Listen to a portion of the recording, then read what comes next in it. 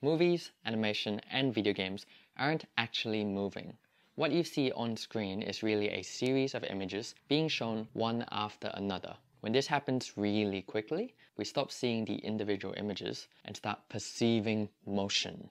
Frame rate refers to the number of images shown every second. So for example, a frame rate of 24 frames per second or 24 FPS means that every second of animation will contain 24 images, also known as frames. Commonly used frame rates include 24, 25, 30 or 60 FPS, with the general idea being that the higher the frame rate, the smoother the animation or video will look. 24 frames per second is widely accepted as the industry standard frame rate for cinema and has been since the 1930s, back when you know movies were still being recorded on rolls of film.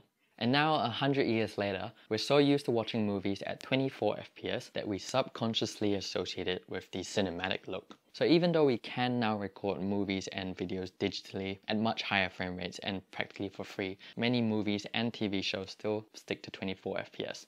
Besides the cinematic association, animation has a few more reasons to use the 24 FPS standard. Unlike videos or live action movies where you can just point a camera at something and hit record, every single frame of an animation has to be created.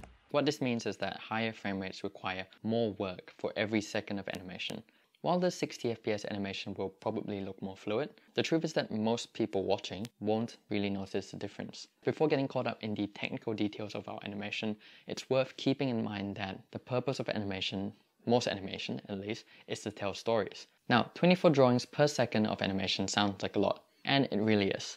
In the real world, animators don't always create a new drawing for every single frame of animation. Sometimes we show a single drawing for two frames or three or even more. Holding a drawing for two frames is known as animating on twos. Holding a drawing for three frames is known as animating on threes and so on. This obviously greatly reduces the number of drawings that need to be created, but it's not all about saving time and money. Using a combination of ones, twos, and threes will let you create smooth animation that feels nice and energetic without wasting time and energy adding drawings where it's not needed. To recap, we've learned in this video that animation is an illusion created by showing a series of images quickly. Frame rate is the number of images or frames shown every second, with 24 FPS being the most commonly used frame rate.